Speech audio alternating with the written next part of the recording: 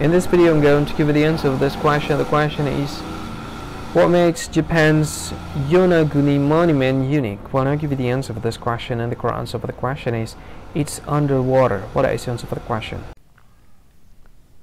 Hi, thank you so much for watching this video. If you find this video is very useful, you can help this channel to grow by subscribing this channel. Please this subscribe button and don't forget to like this video. And if you find this video is not really good or you don't really like this video or you kind of feel that it's a little bit offensive or something like that, you can click this one, dislike button. You can do that anyway.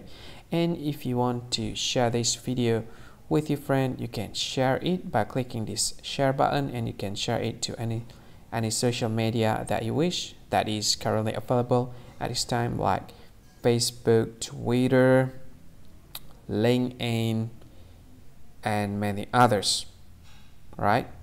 And if you want to add this video to your playlist you can click this one. You can watch this video later and you can find more options by clicking these three dots.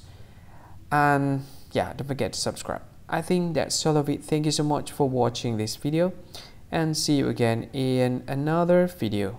Bye bye see you again